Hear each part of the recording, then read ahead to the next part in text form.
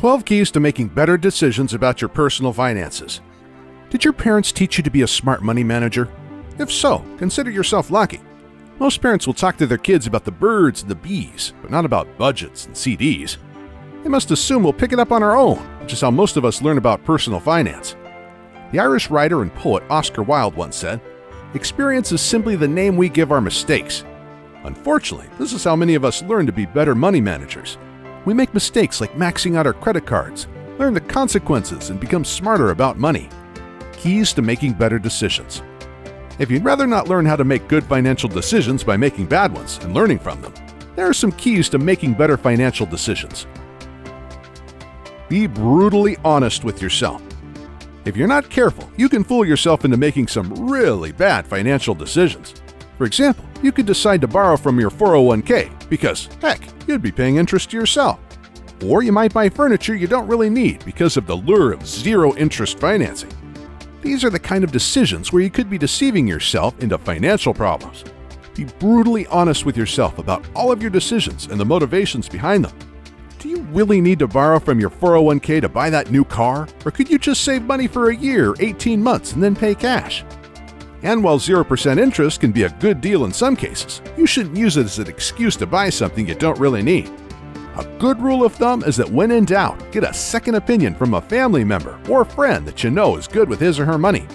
As George S. Clason once wrote, it costs nothing to ask wise advice from a good friend.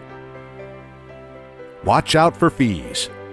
There are almost always fees attached to things that have to do with finances credit cards, banking, investments, and other financial products. It's absolutely critical to keep fees low, especially when it comes to investing. Making money in the stock market is tough enough by itself without paying fees that wipe out your gains. Use cash, not credit. Whatever you do, don't finance your lifestyle on credit. Credit card debt can just ruin your life. Pay cash for everything from groceries to vacations to cars. If you need to make sacrifices to pay cash, do it. Using credit to buy things is the equivalent of stealing money from yourself in the future. Every cent you borrow must be paid back, and often at a very high interest rate.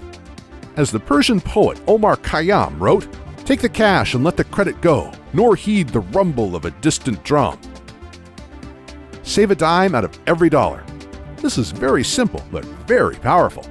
Make a habit beginning right now to save at least 10% of your gross pay. Save 20% or even more if possible.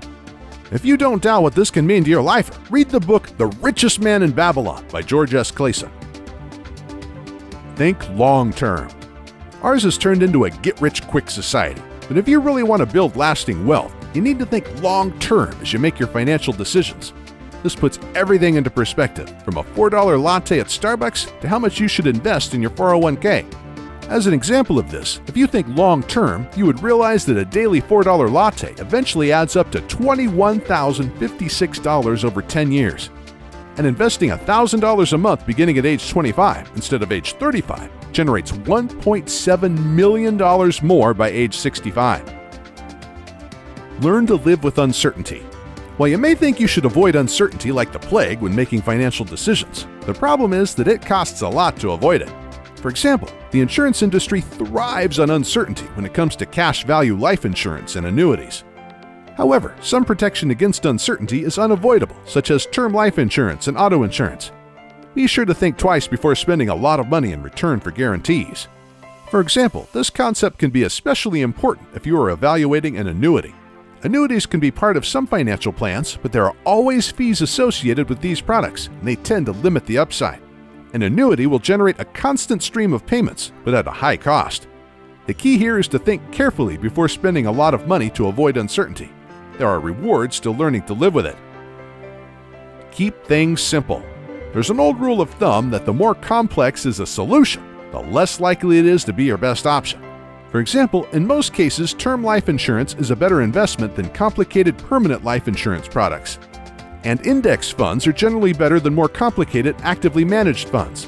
One simple way to invest is in funds or EFTs, as this is usually better than complicated insurance products that have an investment component. In other words, all things being equal, simple is most often better. Harness the power of compounding. It's important to harness the power of compounding. Once you understand it, you can better evaluate your financial decisions to make sure they take advantage of it and not ignore it. If you're not familiar with compounding, this is where you earn interest on your investment and then interest on that interest.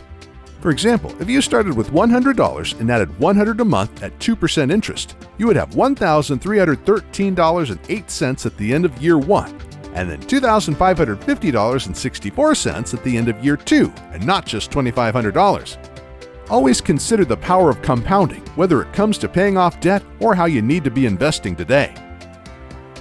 Do the critical things first. Don't put off the big financial decisions. Begin every day thinking about those things you need to accomplish and get to the important stuff first. Don't put off actions such as preparing a will, investing for retirement, or buying life insurance. When you do the critical things first, everything else would just be much easier. Take responsibility for your actions. Despite what the politicians might want you to believe, you are not a victim. These people may tell you that the problem is corporate America or that the system is rigged, but the results are the same. It makes us feel helpless. This is all nonsense that's created to score political points rather than moving the country forward. Never play the victim. Learn to think outside the box. Do you tend to view financial decisions in black and white? For example, do you believe that your emergency fund should always be in cash in a bank, or that you should pay off all your non mortgage debt before investing? These approaches to personal finance often turn out to not be in your best interest. Don't make a financial decision without weighing the pros and cons and considering all alternate options. Don't be greedy. Your friend has a great stock tip that's absolutely guaranteed to make you money, but you also worry that this might be too good to be true. When this is the case, it usually is. Whenever you're faced with one of these deals, you need to monitor your own emotions. You may be tempted by a get rich quick mentality. But think twice before acting, as these deals often don't turn out well. If you need help with credit card debt, National Debt Relief offers a free debt consultation to help with credit card problems. Call 888 866 0778 or visit nationaldebtrelief.com today.